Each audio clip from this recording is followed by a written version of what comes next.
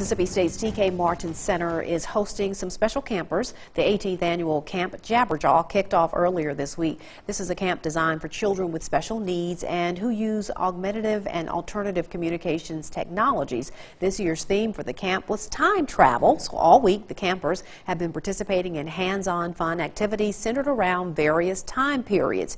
Even their parents were invited to participate and interact with each other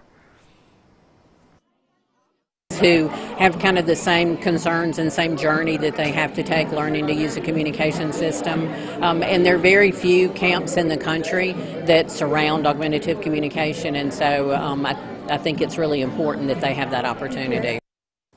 The camp was funded by the Mississippi Department of Rehabilitation Services Project START.